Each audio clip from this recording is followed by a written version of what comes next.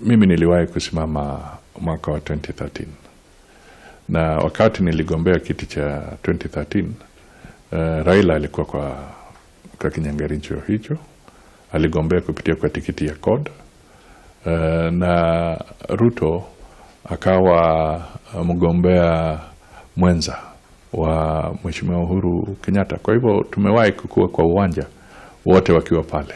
Kwa hivyo tukienda mbele eh, ya Mungu hatujui eh, eh, tukiwa hai na tuko sawa sisi wote eh, labda tutakuwa kwa uwanja tena tukigombea kiti cha urais.